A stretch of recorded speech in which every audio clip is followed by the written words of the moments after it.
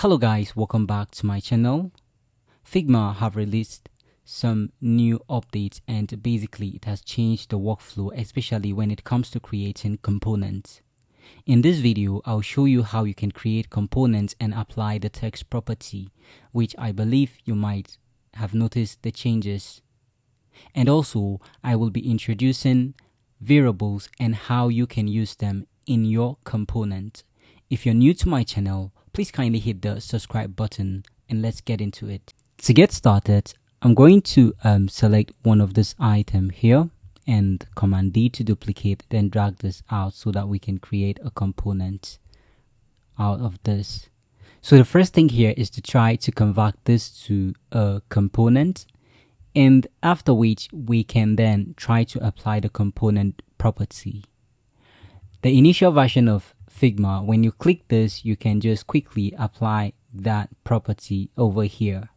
But with this new release, you have to come over here where you have this text, click on this, and then you need to click on the plus sign to add a new property. So let's say label, and we now have our label property. And if I should select this and command D to create a variant, I'll drag this outside and you see we have our text here. So this is going to be hello world, something like that. So we have our property. So the next thing I want to show you is that you can now apply variable at your component properties. I'm going to select this. The first thing to do here, I'm just going to detach this since you now know how to add the properties.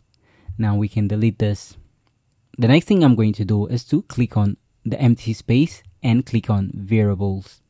Now I'm going to add a new variable called language like so. And the first value here is going to be, let's say this is um, English and I'll have the word good morning saved here.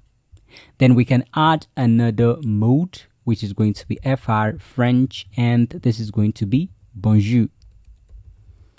So now that we have this, if you try to create a new mode and it requests that you update your Figma to a professional plan, I'll be linking a video in the description below on how to update your Figma plan to a pro plan for free. Now let's continue. I'm going to close that section and then come back in here. So we can now select this global forex and the next thing is to apply this variable we've just created. I'm going to now select language here, which is good morning in English. That's the default greeting. So now how can we then use this? I can click on assets and um, let's say drag this and drop this somewhere here. So command X, let me just select this. I believe this has been grouped.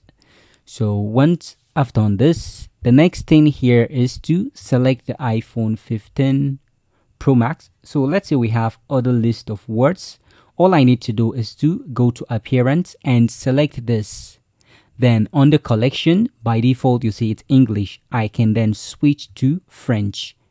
You see, this has automatically changed to bonjour. Imagine all these other ones are also converted or translated to French. So your whole app can be transformed to another language with this variable feature. If you're new to my channel, you can kindly hit the subscribe button for more tutorial tips.